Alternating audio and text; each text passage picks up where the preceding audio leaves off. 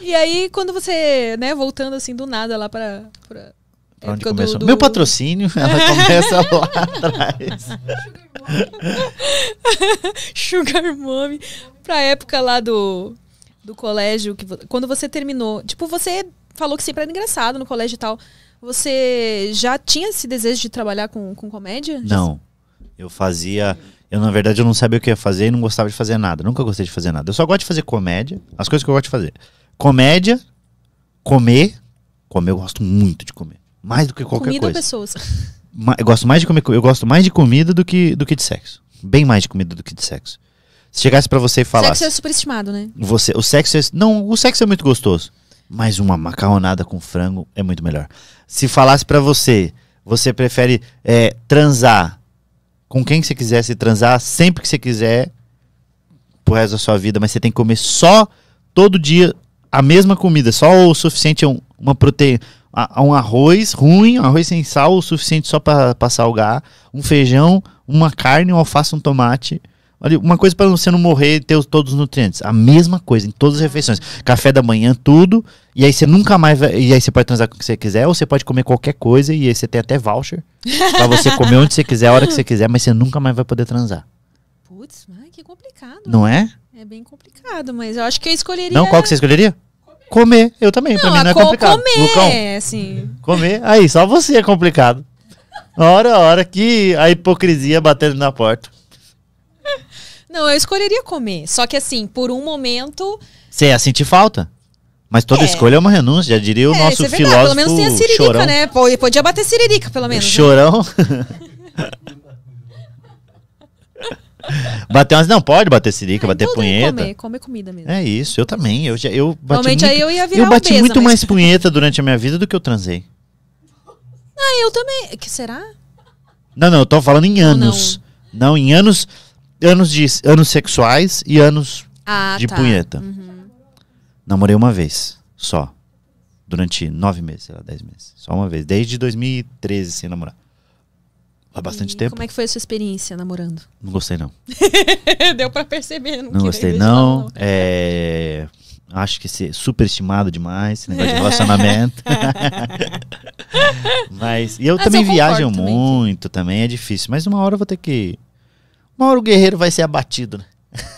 vai tomar um tiro. Mas eu, eu namorei só uma vez, só que eu transava muito pouco, né? Então eu transei pela primeira vez com 17 anos, depois com 21, depois com 25. Tô te falando. Sério? Aham. Ninguém que queria que é transar comigo.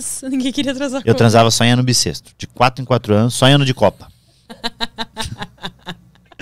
ano de Copa eu tava lá presente, pintado de verde e amarelo e entrando em campo. Mas porque eu eu era eu sempre fui ruim, né, de de pegar mulher.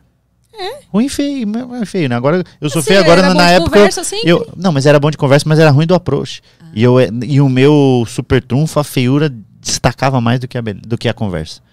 Então eu precisava muito mais de, de conversa do que de coisa. Então a minha conversa é até um teto que a- ultrapassava a estratosfera, a feiura. Mas, e aí eu fiquei esse tempo administrando. Então eu comecei a atrasar com mais frequência depois dos 24, 25 anos. E então eu fiquei muito mais tempo sem transar. Muito mais tempo comendo. Logo, eu valorizo mais a comida do que o sexo. Entendi. Justificada a minha resposta? Uma pergunta. E a mulherada dá muito em cima de você? Não, Ou é mito também? É mito, é, é, é porque é comédia, né? A gente é comediante, então tudo que é falado, até quem tá na plateia, ah, dá um grito, alguma coisa, é brincando. É, ninguém leva a sério na hora do. Nossa, não sei o quê. Então vamos. Não, é essa piada, caralho. Sai fora, você é comediante. Nem mas eu. Mas não tô dizendo que eu não. Quando eu posso, eu sempre tô praticando, né? Quando eu tenho a oportunidade aí de entrar em campo. Mas eu acho que mais, menos do que eu gostaria. Ah, é? É. Pô, é gostoso transar, né? Não, mas. ah, muitas mulheres dão em cima de você. Não. Não. Tive um déjà vu, hein? Acabei de ter um déjà vu. É? Aham. É? Não, é porque ela perguntou, muitas mulheres dão em cima de você? Aí eu respondi, ela fez, tá, mas muitas mulheres dão em É cima de você. você falou que gostaria de transar mais. Eu gostaria de transar só- mais. só a, a quantidade de mulheres que dá em cima não significa necessariamente a a quantidade que você teria disponível pra transar. Até porque, tipo, você tem um filtro, deve ter um filtro, né? Ou não? Tipo assim. Tenho, tenho, mas eu não sou muito cara do. Eu acho que a gente tem que fazer a roda girar, né? E quando eu tô falando disso é feio, roda bonito, a bonita, entendeu? Porque o universo tem um negócio do universo, né? O universo Uhum. tem que continuar rolando. Porque se eu focar só nas, nas bonitas, aí na, nas, no- na bonita, no- segundo o meu padrão, Aham. aí eu vou tá, vou tá travando as portas para que a coisa continue rodando, para que o Lucão lá na frente consiga pegar uma bonita e não fique pegando só as horríveis que ele pega. não, o Lucão é comprometido. Comprometido, mas eu foi só um exemplo. Eu usei como exemplo. Né, Lucão? Usei só como exemplo porque ou você, entendeu? Você já pegou uns cara feio Já, quem nunca, né? e aí você já pegou uns bonitos também. Eu acho que tem que fazer a roda girando, entendeu? Tem que fazer a roda girar. Quantas mulher gata que já não me pegou falando: "Nossa, eu saí com um cara muito feio ontem". Mas valeu a pena. Ou não, ou não valeu a pena e a roda tem que girar pra que chegue eu no não bonito. consigo te achar um cara muito feio. Não, Acho não, que é tô falando, tô usando um simpatia. exemplo assim como eu usei o Lucão como exemplo de. Eu já fui muito pior já. Eu me devia. Eu sou ruim agora, meu Deus do céu. Eu, sempre, que eu falo sempre isso. Se, ah, você é feio, você não me conheceu antes, aí você vai ver o que, que era feio. Você tem esse trunfo na mão, então. Nossa senhora, eu tenho essa, essa carta na manga pra mostrar. E Isso aqui, ela fala, isso é feio, viu como é tudo uma questão de referência?